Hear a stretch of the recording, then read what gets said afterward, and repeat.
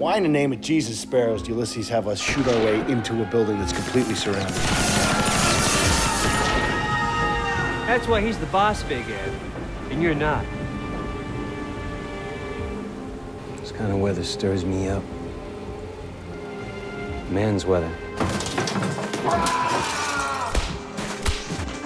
Don't you mention my son. Look what you've done! Look what you've done! You've always been a terrible man. Never trust your eyes, Ulysses.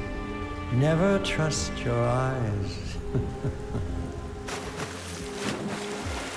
Just one more night.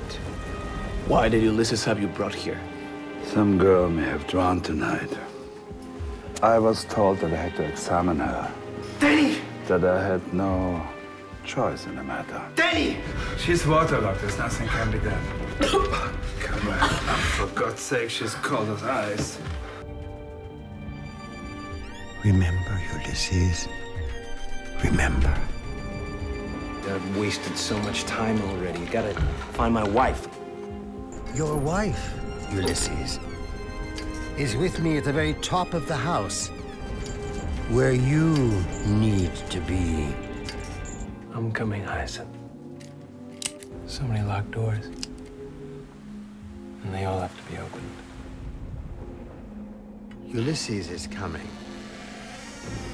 He's in the house.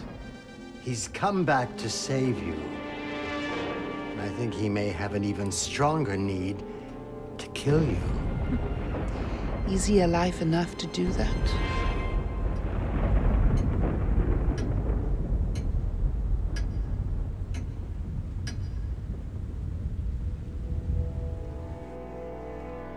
Hyacinth?